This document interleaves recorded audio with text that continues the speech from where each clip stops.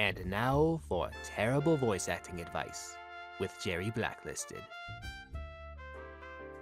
Believability is a core part of acting, and many casting directors say they don't like when actors use rhythm, but I tell them they're too picky, and the way I talk is perfectly natural.